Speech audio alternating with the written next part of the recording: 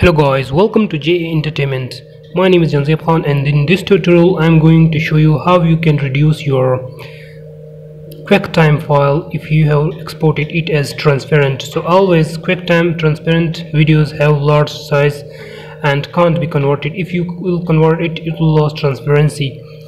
So if you want to send it to your friends via email or you want to sell it in any freelancing site if you have created for some buyers or for any purpose you want to send anywhere.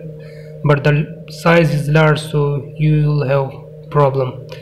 So here is a technique that how to reduce. Normally if it's not a technique but I mean I mean it cannot be exported as in small size but there will be two layers there will be two videos then you will export in small size and then it will be in transparent mode later but let's do it. So here is your transparent video green screen video maybe. Yeah that's already green screen I have Keylight effect on. So select your video go to effects color correction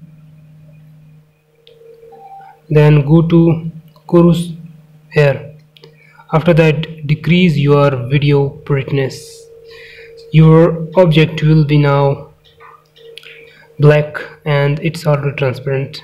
The next thing is search for invert in preset and effects. Effects and preset or you can find it through effects here. So here is invert effect. Apply this to your layer. Now it is black. You can see. It is now black in black mode uh, it is white and background is black now when you invert it. The next thing is now export your this video through after effects through render queue the second video you need to generate the normal video just your normal video. I mean your green screen cutted video like this one I mean duplicating this duplicate this and now remove everything from no remove um, Curves this one uh, and one minute yeah and invert from this one. Do not remove Keylight. So there will be now two videos. The first video will be your this one will be your green screen background removed video and the second video will be the same but we applied some effects on it. So export these two videos separately. First export this one or this one and you will have two files in your computer. Now you can send these two files. You can convert these two files in small size with any converter no problem and can send to everyone and can send be used in future. So how to use in future?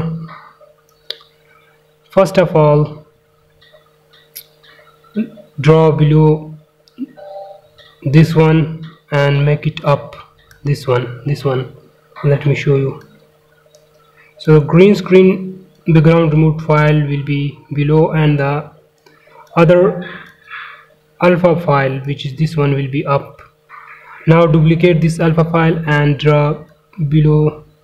So this is alpha file. Let me show it all. This one is alpha file and this one is also alpha file. And between file is this one. So now turn show all everyone.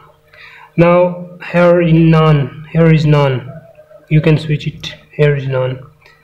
Now you can select luma matte this one or this one which be its name will be. And you will finally get your again your transparent video. So you can use use these two files in future. And that's way you will not need to export your big size or large size uh, alpha channel videos or transparent background videos. You can do this technique. I hope you guys will like it. If you don't understand do it.